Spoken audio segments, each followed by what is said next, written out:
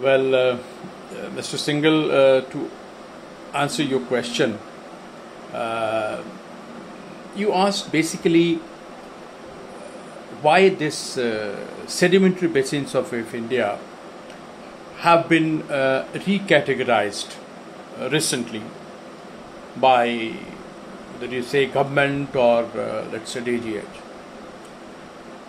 To know that, we have to first uh, speak a little about the sedimentary basins per se, and then the earlier categorization, and then the present categorization, and the logic behind it. Uh, very commonly, we know that uh, oil and gas uh, is found in sedimentary rocks, primarily in sedimentary rocks, and uh, hence the search has to go on in sedimentary in areas which has got sedimentary rocks so we look for basins, uh, erstwhile river basins, wherein sedimentary rocks have been deposited. So accordingly, in India, 26 sedimentary basins have been found, and uh, these basins had been and have been the target for oil and gas exploration in the country. Now, what was the need of uh, categorization at all? That's the first question. The categorization was to uh, bring in a sense of uh, prospectivity when you say prospectivity, in a very simple term, how good a candidate it is uh, for finding oil. Because we are in a business of finding and producing oil. So the very reason or the very basic, why should we categorize these basins at all? Let there be all 26 is because we want to bring in a sense of prospectivity, which means how good or bad they are at the present level of knowledge vis-a-vis the exploration and exploitation of oil. So the earlier, when you see the earlier categorization, initially they were categorized into four.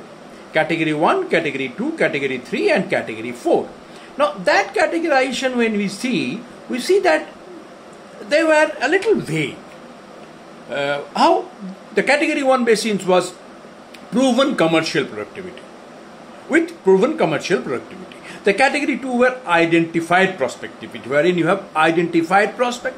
The category 3 basin was prospective basin, and the category 4 was potentially prospective basis, basins. So if we see, uh, there was a classification, but maybe because of uh, lack of information at, the, at that stage, lack of data at that stage, uh, they were a little vague. But they gave, still they provided a sense of uh, how good or how bad uh, the candidate, they were a candidate uh, for oil exploration. Now, if you come to the present categorization, recategorization uh, into three, uh, and foremost, uh, what I need to say is that they have been done in a more scientific basis. Why? Because they have followed PRMS system, PRMS classification. What is PRMS classification? Petroleum Resource Management System.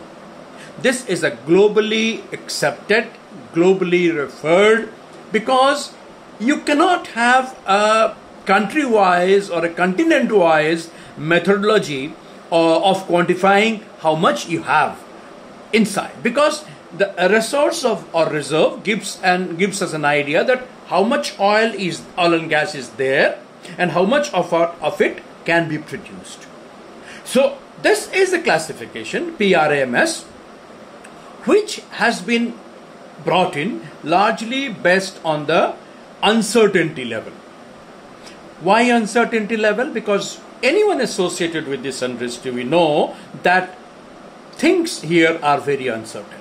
It's it's an industry where the inputs are deterministic, but the output is probabilistic. As I say to all my students, wherever I go uh, for teaching, that globally this industry is trying to answer only three questions. What are the three questions? Is it there? How big is it? Will it make money? The first question is Is it there? Is oil and gas there at all? If it is there, the first question is answered How big is it? And last question is Will it make money? So when you come to this try to understand. So these are the uncertainty level again.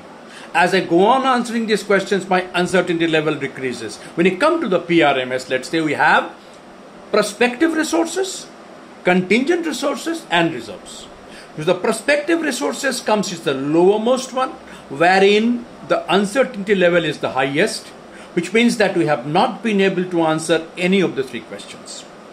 Completely undiscovered, an area where there is completely undiscovered, but there are resources. Still, why do I call say they have resources? Prospective resources because the information or data which I have today, well, looked at it analogically with uh, global basins as erstwhile and certain uh, principles of uh, geology, we understand that there is a possibility, which means there is a prospectivity of finding oil there. What we look for, I'll introduce a term called petroleum system, which are the basic look at the basic elements which are responsible for generation of oil and gas. As we know, that is your source rock, reservoir rock, trap, seal, migration, timing, etc. So whether the elements of petroleum systems are there or not, based on that we say yes, there is a prospect, there, there are there is a prospectivity, which means there is a chance of finding it. However, it remains undiscovered. We come to the next one, which is contingent resources, wherein the first question has been asked, answered. That means the discovery has been made. Is it there? Has been answered. How big is it? Will it make money? Has not been answered, which means it's discovered sub-commercial. Due to some reason, the monetization has not taken place. It can be the present, maybe at the at present the technology is not available, or it might be that the, economically it is not yet to be done. If I take an example of Vindhyan Basin, see it was the earlier categorization it was it was in category three. Today, if we see, it has come into category 2 because of the efforts of ONGC. A lot of discoveries, gas discoveries in tight reservoirs have been made. They are only to be made commercial. Once the technology is brought in, it becomes commercial. So, you see how a basin has moved from prospective resources to contingent resources. Let's take another example here of Bengal Basin. We know that there has been a recent discovery of gas in, uh, uh, gas in West Bengal, in Bengal Basin, and uh, Ashoknagar. So right now it's in category 3 because discovery was not made, so it was in category 3. But with this discovery, the first question has been answered. Maybe with a little more appraisal, Bengal Basin will move from category 3 to category 2. Now coming back to the prospective resource, I mean uh, contingent resources wherein the element of uncertainty is less and then coming to the last one, as per PRMS classification, areas where I have already proved resource, proved resources, when you call reserves, proved reserves, and there are commercial discoveries, commercial production has commenced. So my it is discovered as well as commercial. So I've answered all the three questions. Is it there? It is there. How big is it? It's big enough to make money. So now if we see that the this is basically what I was telling is PRMS. However, in that I brought in the examples of basins. But yes, why I brought in because right now the categorization is under three, which has strictly followed the PRMS. We have category one basins where the commercial discoveries have been made and commercial production has commenced. We have the category two basins wherein discoveries have been made. However, commercial commercial production is yet to commence. Monetization is yet to be done, and we have the category 3 basins which are prospective have prospective resources, however, discoveries are yet to be made. So now if we come to the policy part that the government has brought in, let's say the uh, when you bid for it, you bid for two things. One is your minimum work program commitment, and you bid for revenue sharing. That means in case of a commercial discovery is made and you are able to generate revenue, how much revenue will share with the government? If you see OALP 4 onwards, for the category 2 and category 3 basins wherein this recategorization took place. Category 2 and category 3 basins government is not asking you to commit a revenue sharing at the time of bidding. Why? Because will it make money is not answered. In category 3 basin it's not answered at all. In category 2 basins you have a discovery. However will it make money has not been answered. So government in, in the policy also also is not demanding the revenue sharing to be committed at the time of bidding. However, however, we are in a business where we need to be optimistic.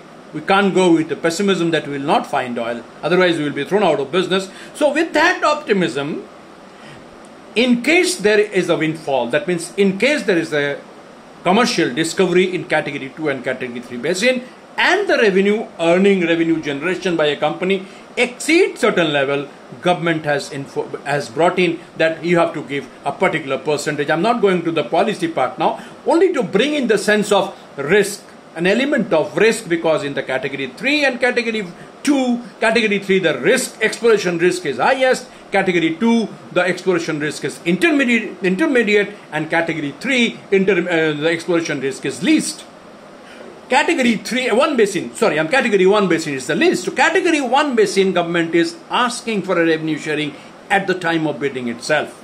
Because will it make money has already been answered. You will make money. You will make money you will generate revenue. The chances of if you're making money generation of revenue is highest. So it is demanding that so now if we look at it, the recategorization of 26 Indian sedimentary basin into category 1 as per PRMS which has reserves, into category 3 which is as per PRMS has got contingent resources and category 3 as basins as per PRMS prospective resources, the exploration risk is covered, exploration risk is defined and investor understands at the time of bidding that how much of risk is, is, is inbuilt and accordingly the policy has also been built.